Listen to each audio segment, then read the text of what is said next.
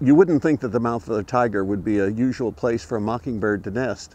Well, it turns out that uh, several weeks ago, I was walking by the tigers and saw a mockingbird standing up on top of the head of one of the tigers.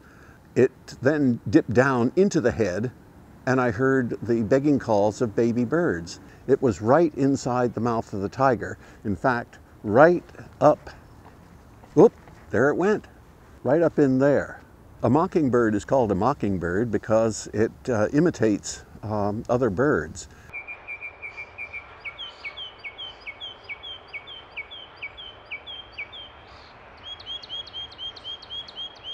What it does, and the way you can recognize it, is you will hear typical singing of a bird of some sort uh, repeated, uh, a short uh, phrase of a song repeated three times or five times, and then all of a sudden, another species of bird repeated three to five times.